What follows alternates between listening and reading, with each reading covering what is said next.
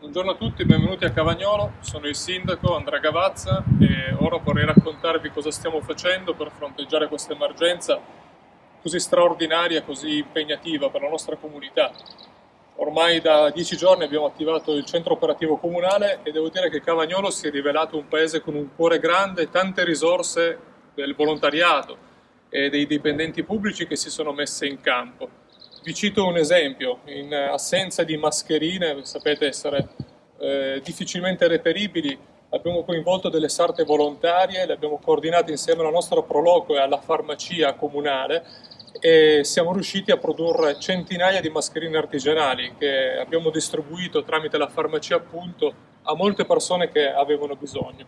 E poi abbiamo attivato i nostri splendidi volontari di protezione civile che insieme al gruppo Alpini e alla Croce Rossa e alla Croce Verde si stanno impegnando in presidi di fronte ai supermercati, nella rilevazione della temperatura corporea sempre fuori dagli esercizi commerciali,